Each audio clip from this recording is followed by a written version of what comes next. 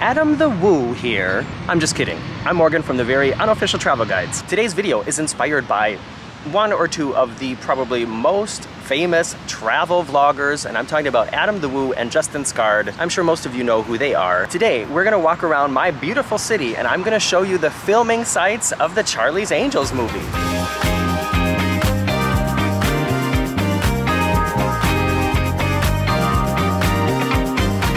Welcome to beautiful Hamburg, Germany. It is finally summer here. I am loving it and I got up early today. At the moment, early for me means 10.30 in the morning. And every time I make a video where I show you a little bit of my city, I ask people, do you want to see more of these videos? And everybody always says, yes. And then I don't do it. But I'm doing it now, and for the very first time, I have left my house with my new Sony ZV-1 camera and I'm just trying it out so if it's shaky or if it's out of focus or if the sound is terrible, I'm sorry, I'm still learning. And as always, it's really uncomfortable for me to be walking around filming myself with random people walking past in a situation like this. I don't know how other people do it.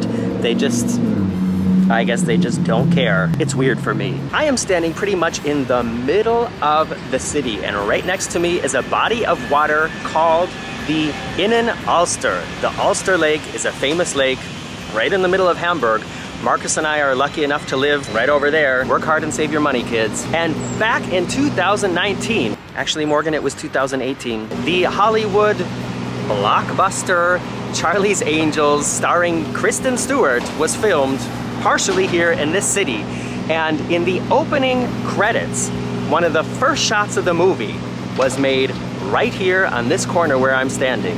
And where, of course, they just started doing construction. So check out this opening shot of the movie, the opening titles, where these young women are riding their bikes along a body of water, and that is this body of water right here, the Binnenalster. Fun fact, many, many years ago, when Justin Scarred didn't even have, I think, 6,000 subscribers, one of his videos showed up in my feed, I watched it and I thought, this guy's going somewhere. He's got something. And I wrote to him just to let him know I think he's doing a good job and I invited him to participate, to collab in a very unofficial travel guides because I was gonna be in California and he never wrote back. That's live. But this area of the city is very easily recognizable in that opening credit shot of the movie.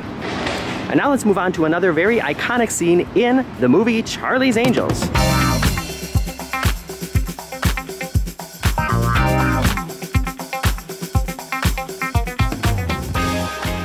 Moved on to the next location and surprise, surprise, it's also a construction area. Coincidence? I don't know, it is kind of weird though. In this scene, the character of Ellie has her secret meeting with the character of Bosley and we can see her riding her bike over a bridge and that is this bridge.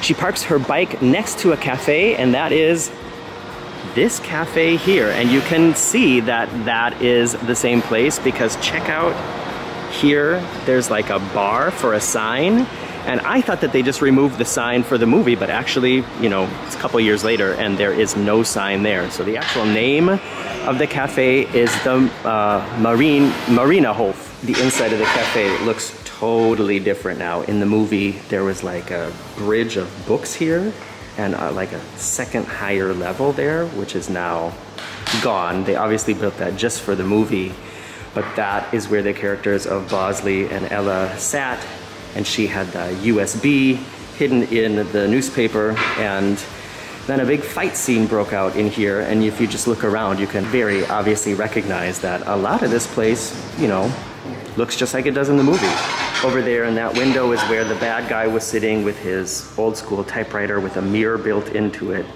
so he could see what was happening over here.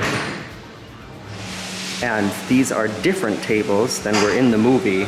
I'm sure those were built just for the movie because they were all thrown around and destroyed in the end.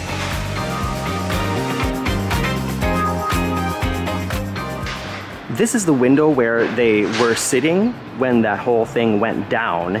And Kristen Stewart's character was across the street, like on lookout, which would have been up here, but you can see that that's not the building where they were. I think that this is the building where they filmed her like looking over the railing.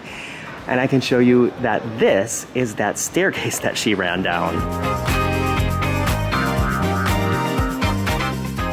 It's tough to see because of the reflection of the sun, but she runs down this gigantic stairway with a hole in the middle, screaming obscenities the entire time. And I'm pretty sure that this was it. And it's actually not too far from the cafe. At the end of the scene, the character of Ella jumps out the window, which would have been this window, into the car. So they speed off down the street here, and you can definitely recognize this store here. You see the name Multiple Box Hamburg. And there's the street. Kristen Stewart's character comes running much too late past one of these uh, concrete balls and gets left behind as the car speeds away.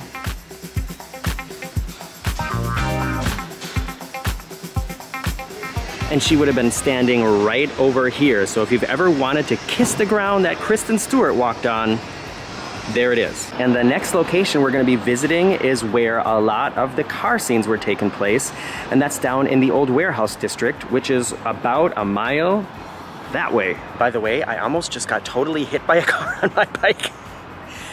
It was my mistake, but I was turning the corner right over here to come down here and I did not expect a car to be coming in the other direction and my brake squeaked and the car's brake squeaked and we both gave each other a very surprised look.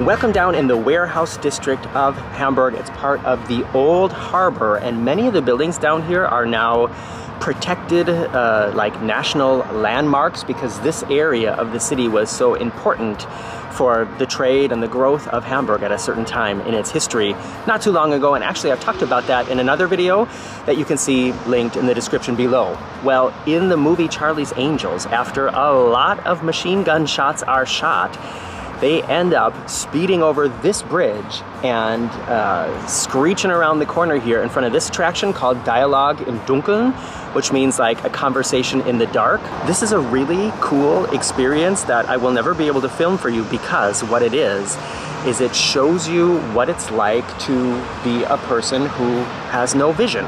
It's a gigantic like walk-through attraction and it's completely black as night inside. So it shows you what it's like to try to like cross a street, to try to uh, walk through a park, to try to get through a parking lot, things like that when you have no vision. And I've been there a few times and it's something really, really special. Anyways, the car goes speeding around the corner here and down this alleyway.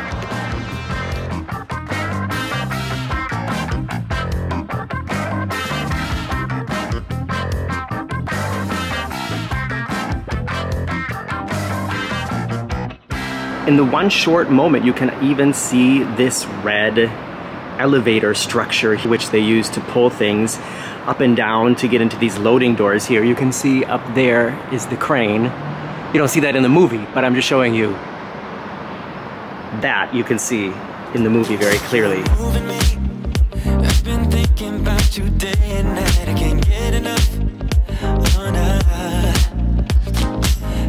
Like all good Hollywood car chases, it ends with a crash and an explosion and somebody dying. And in the movie, they edit it to make it look like at the end of that alleyway is where the crash happens, but actually we're about probably a good three quarters of a mile away down in the newer part of the warehouse district. The area that's closer to the city is the historically protected area and the area that's closer to the river.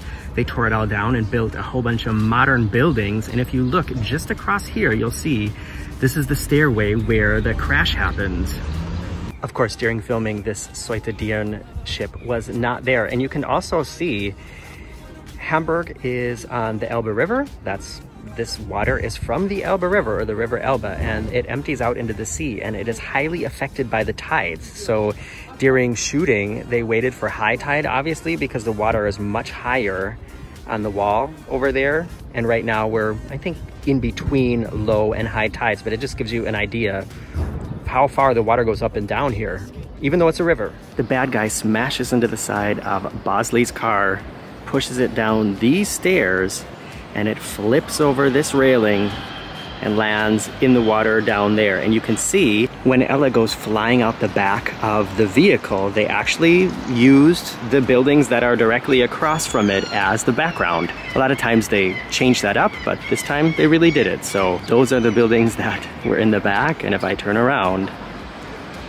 these are the stairs where they came crashing down.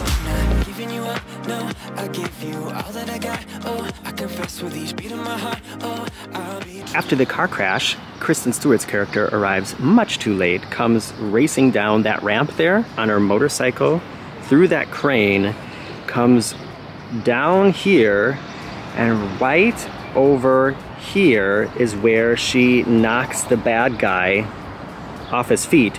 And you can recognize this sign here and those buildings in the background.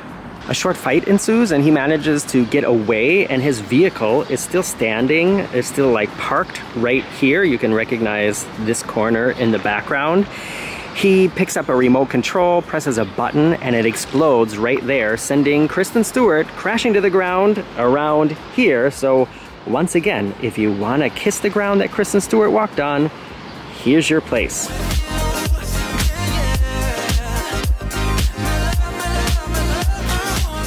They of course have a much different lens than I do on this camera, but he's basically like this. And then you can see Kristen Stewart in the background pointing a gun at him, and then the car, which was right there, goes boom. And then he goes strolling off in that direction.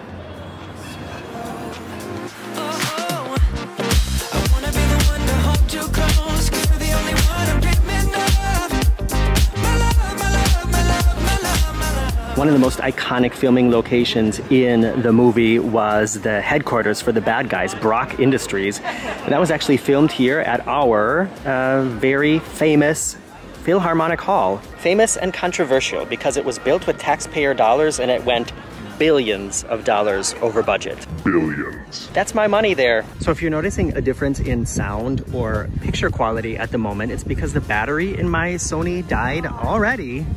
And now I'm filming with my iPhone again, which feels so much more comfortable to me. So I'm so much more practiced in filming with this. So the character of, I think it's Ella, checks in here to get into the building and you can see across from here in the background, this is actually the building that you can see when she's walking through the turnstiles. And then just a little insider secret as far as how close some of the locations are to one another.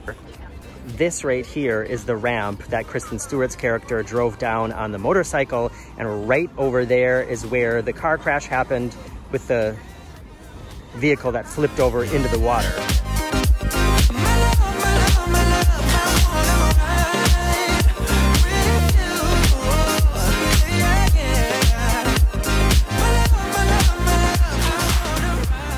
And in the end of the scene that takes place inside this building, you can see her look back out the window as they're driving away and you can clearly recognize this shot and this building over here too.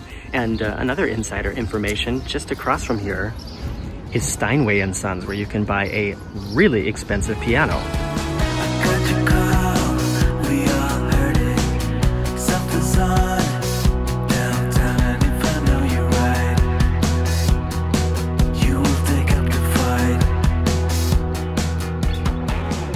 Just stopped to get a nice little lunch on my way back home. And there's a very loud baby right over there. Like I said, now that I'm filming with my telephone again, it just feels so much better. I don't know if that's because I just need to get used to filming with the Sony or if it's just that filming with an iPhone is better. I mean, this is how I've been doing it for like 10 years now. So I'm trying to decide if I really need the extra camera or if I should send that back and just upgrade to a newer phone. Exactly, exactly. And check out this toast I got. Holy crap.